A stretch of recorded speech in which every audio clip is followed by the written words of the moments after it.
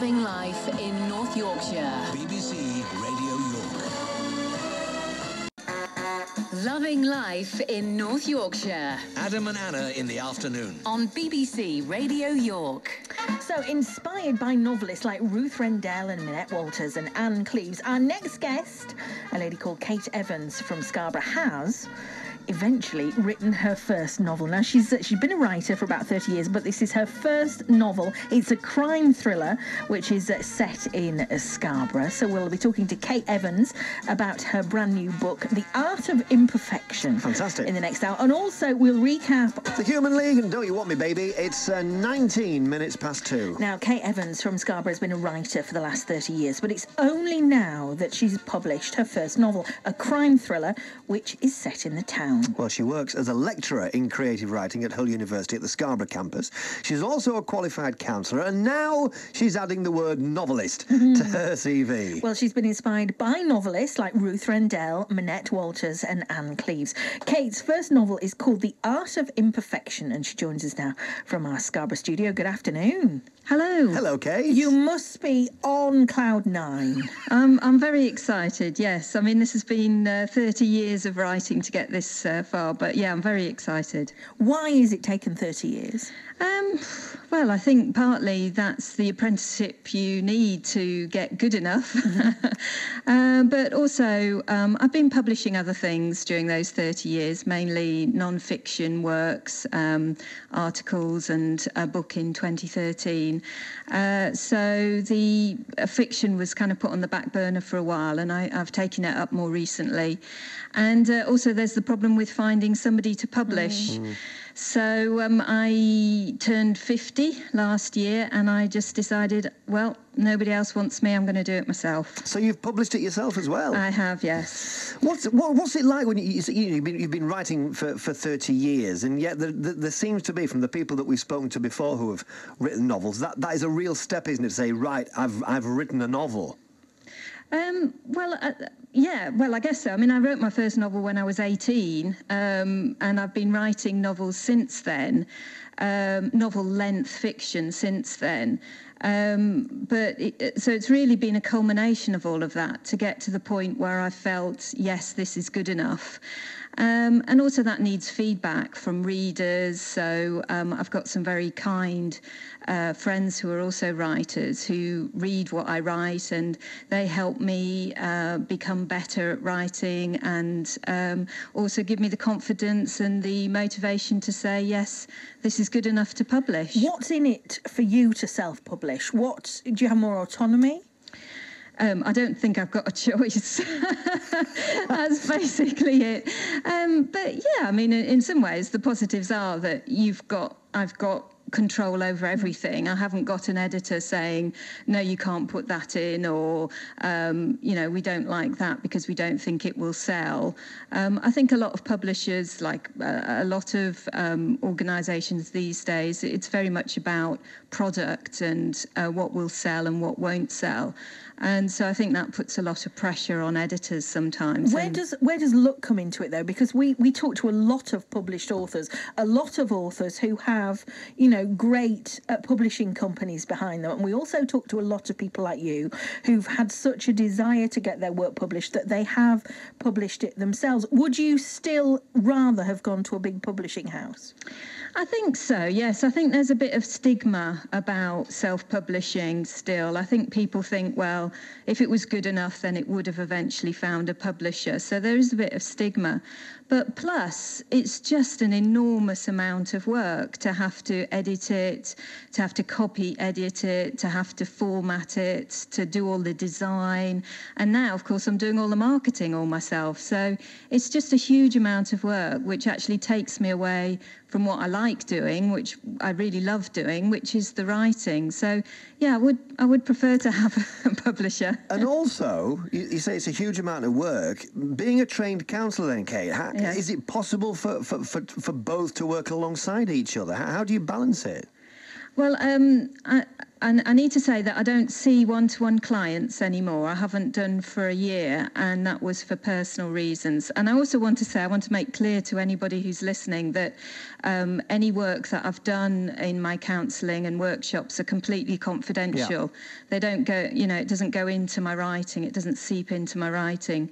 The uh, does that but does your work as a counsellor give you a different perspective on how the mind works? Well, I think I think as a counsellor, you see human frailty and human vulnerability, and um, I think crime is very much about that. It's about um, people being often being placed in a situation where they don't they don't know what else to do. Really, mm. um, I'm interested in what what makes very normal and ordinary people do very nasty things. I'm not interested in the psychopaths of this world. I think they do very little murder. I'm interested in just what pushes ordinary people over the edge. And I suppose, yeah, I suppose you see that sometimes in the counselling room. But I would like to say that most of the portrayal of the um, depression in this book is from my own experience of depression. I certainly haven't taken it from any stories that clients have given me. Okay, Kate, stay there. We'll come back to you in just a few moments' time because uh, what's fascinating is that this story is mm. set in Scarborough. So we'll find out more about the story and why it was important to uh, set it in uh, Scarborough. Our guest at this point in the afternoon is uh, Kate Evans. More from Kate coming up in a few moments' time. Radio. It's just gone at 2.30. It's Monday afternoon. It's Adam and Anna with you through until 4 o'clock this afternoon. Our uh, guest this hour is uh, Kate Evans. She's from uh, Scarborough. She's a, a, lecturer in creative writing. She's uh, also a qualified uh, counsellor as well. And she's been writing for the last 30 years.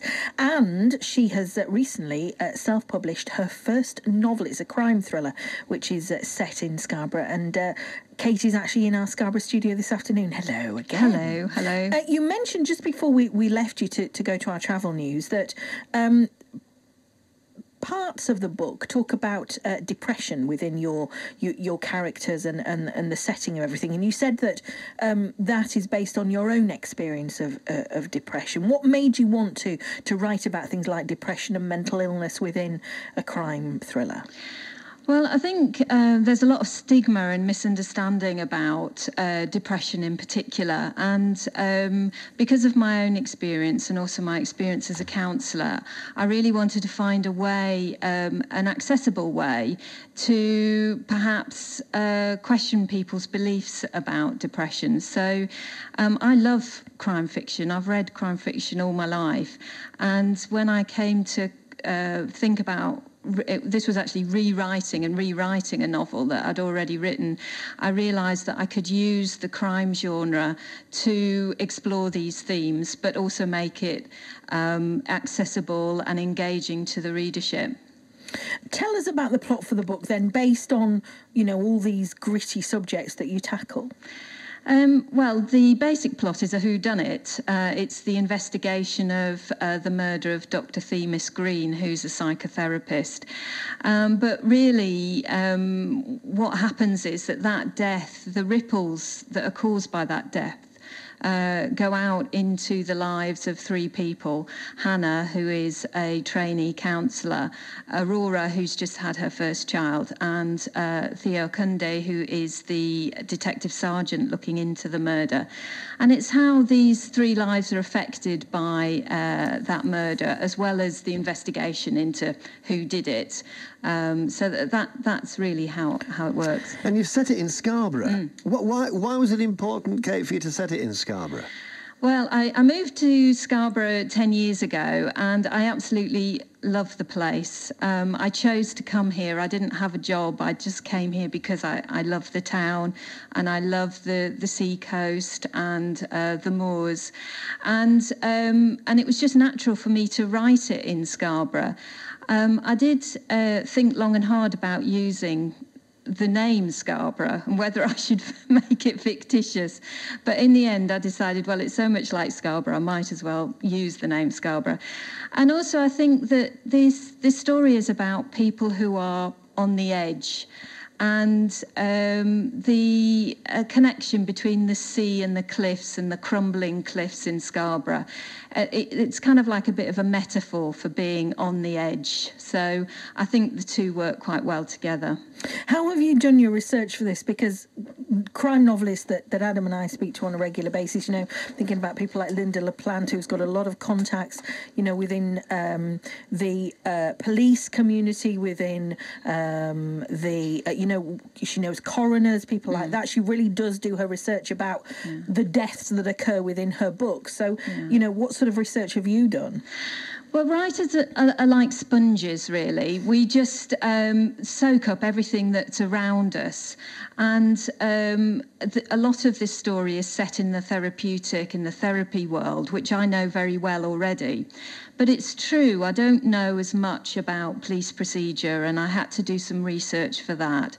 Um, I did my research for that mainly through um, reading other crime writers, and also um, there's some great reality TV at the moment, actually. 24 Hours in Custody is a fabulous place to go to look at police procedures. So, you know, you just have to. I mean, it's true. I don't. I don't have the connections that Lynda La Plante has, but you just have to do what you can uh, with the resources that you have. But but credible nonetheless. Uh, well, I hope so. I mean, I certainly haven't had anybody saying uh, this is a load of rubbish, and a police officer wouldn't do that. So. Maybe that will come. We'll see. You've been lecturing in, in creative writing for, for a fair old while now. Have your students read your book? I don't know. It'd see what they thought of it, wouldn't it? Yeah, I don't know. Nobody, nobody who I've actually taught has come back to me, but I've had some really nice reactions, both from people who know me and also it's been out for review, and I've had reviews from uh, people who don't know me at all but have just read the book. Um, in fact, one guy recently said I write like Hilary Mantel, so Oh, very good. I was very happy with that. So what now? I mean, is, is there going to be another one now? You've done, done it after 30 odd years. Is, is are you now going to be just, I think, going to be pouring out of It's, you? it's pouring out of me, trust me. uh, the, this is the first of a series, Right. um, and I've got the other. I've got the next two on paper. Uh, so the second one um, I, is in pretty good shape, but still needs some work, and I'm hoping to publish that later this year. Where does the momentum come from, though, when you're self publishing? Because you haven't got your book editor breathing down your neck saying, Kate, I need that by January next year. You've got a year to write book two. Well, I mean, there's a certain amount of self motivation. I want to tell these stories, they're in my head. I want to get them out on paper. I love writing, I love crafting. But then there's my friends, then there's my friends who are writers who are really encouraging and supportive, and, and they really help me to stay motivated. I belong to uh, various writing groups, and um, if, if there's anybody out there who wants to write a, book, a book, then join a group. You really need a supportive community around you, and I've found that in Scarborough, so I'm very lucky. Brilliant. It's been lovely to talk Fabulous. to you. Congratulations. Well Thank done. you. And we hope it goes from strength to strength. And get in touch when your second one's out. I will. Can, can I just say that the art of it's the art of the imperfect, and it's available both in paperback and in ebook on Amazon. Am I allowed to say that? of course that? you are. Yeah, absolutely. You Yeah. just have. Very well done. Thank you very Kate, much. thanks a lot. Take care. Thank you. Bye-bye. Bye. Kate Evans. Yep, she says there the uh, the art of the imperfect, and uh, it's set in Scarborough. That's great, isn't it? Yeah, I think it's brilliant as well to achieve something like this. Yeah. You know, she's wanted to to get a book published for so long, and actually, it's nice now that people can self-publish. Yeah. Um, and you know, who knows? Who knows? Might pick it up and think, right, okay, there's something in this. Terrific. We'll take her on for the next book. Lives in Scarborough, writes about Scarborough, and publishes it in Scarborough. Brilliant. Kate Evans and the Art of the Imperfect.